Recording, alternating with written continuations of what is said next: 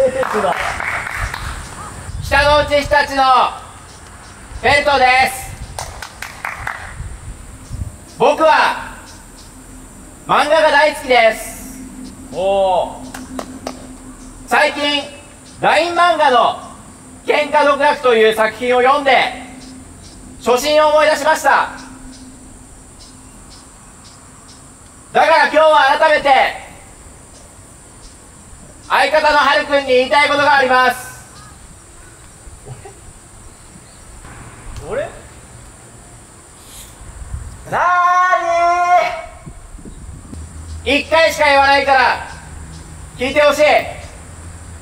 なーに僕らの初めての出会いは中学3年生の野球での試合でした。最初の印象はおいなんだよこのクイズ。そう思ってました。ひどえひどめっちゃそんな僕らがふとしたことで友達になり今では一緒に YouTube を続けている仲間です。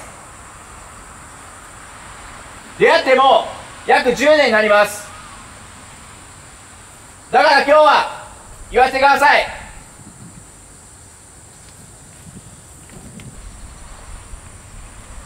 一生友達でいような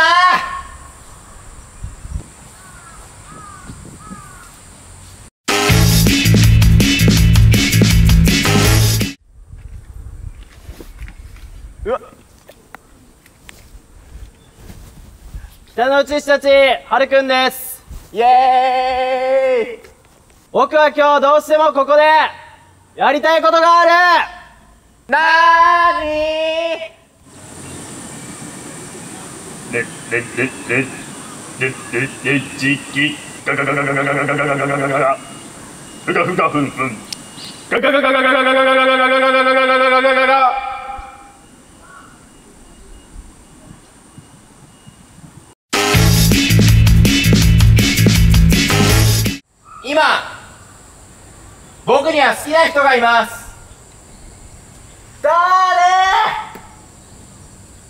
もう失礼しました。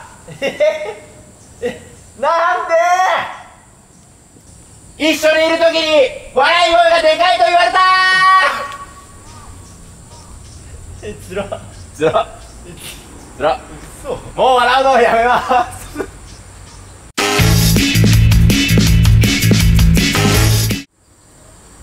僕は今日言いたいことが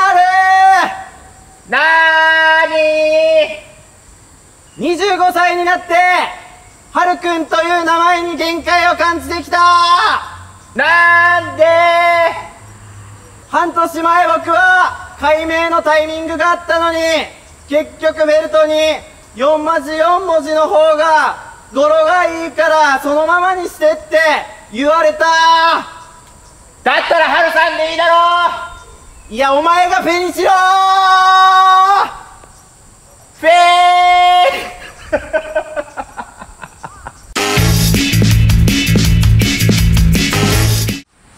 僕は高校2年生の頃から YouTube に動画を上げ始めました。大学2年生の頃からは YouTuber になりました。最近では子供たちの将来なりたい職業ランキングにも YouTuber がランクインしました。そんな僕が今日は YouTuber を目指す子供たちに言いたいことがある。な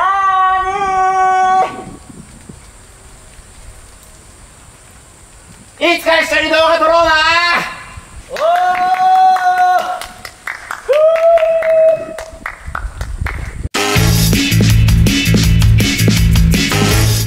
僕は YouTube について思うことがあります。なんですか？最近コンプラが厳しくなり僕らの動画作りも慎重になった。いいね。だから僕らはもうエロをやめた。マジで？だけど今日僕はあの頃に戻ってもう一度言わせてくれ。コンプラ禁止ろおめえは。僕はある人に言いたいことがあります。北の内たちのはるくん。またまた俺？またおめえかよまた俺なの？またおめえかよ。なーにどうしても言いたい。ーなー。今だからお前に言いたいことがある。なー。正直に言わせてくれ。何？はっきり言うぞはい。なんで二人は飲みに行ってくれないの？いやいやいや。いや寂しいじゃんなんか。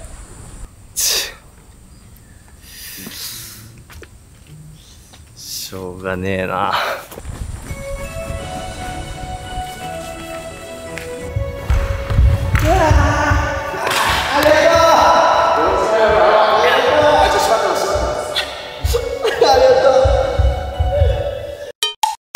いやー、今日は言いたいこと言えてよかったですね。すごいすっきりしましたね。やってみたかった企画でもあったんいでやーちょっとこっぱずかしかったですけど。まあそうですね。